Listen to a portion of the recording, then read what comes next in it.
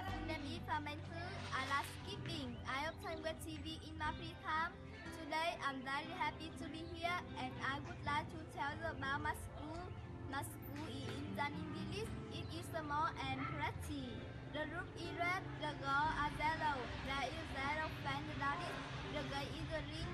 My school has a library. It is small but very beautiful. Their music room is not loud but nice.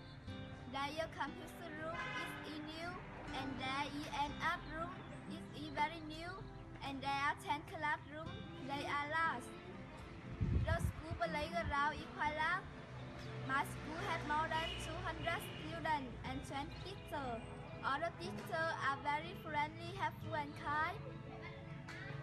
My school is busy and noisy at time. We play a lot of games and sports as tag, table tennis, badminton, seek, so on. I love my school very much. My school is always clean, clean and beautiful. That's all. Thank you for the